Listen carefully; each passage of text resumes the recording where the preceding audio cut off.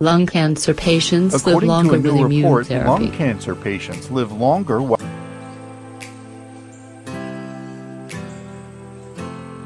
Odds of survival can greatly improve for people with the most common type of lung cancer if they are given a new drug that activates the immune system along with chemotherapy. A major new study has shown. The findings, medical experts say, should change the way doctors treat lung cancer. Patients with this form of the disease should receive immunotherapy as early as possible. What it suggests is that chemotherapy alone is no longer a standard of care, said Dr. Leena Gandhi, a leader of the study and director of the Thoracic Medical Oncology Program at the Perlmutter Cancer Center at New York University Langone Health. Immunotherapy has been making steady gains against a number of cancers.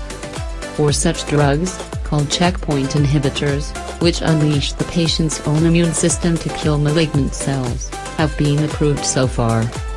They cost more than $100,000 a year, can have serious side effects and help only some patients, generally fewer than half. But when the drugs work, responses can be long-lasting, and researchers are rushing to find ways to combine treatments to improve their effects and to determine which formulation is best for each patient.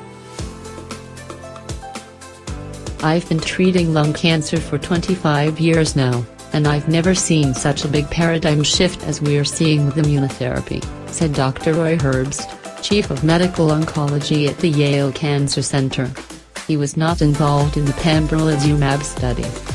Lung cancer is the leading cause of cancer death globally, causing 1.7 million deaths a year. In the United States, it is expected to kill more than 154,000 people in 2018.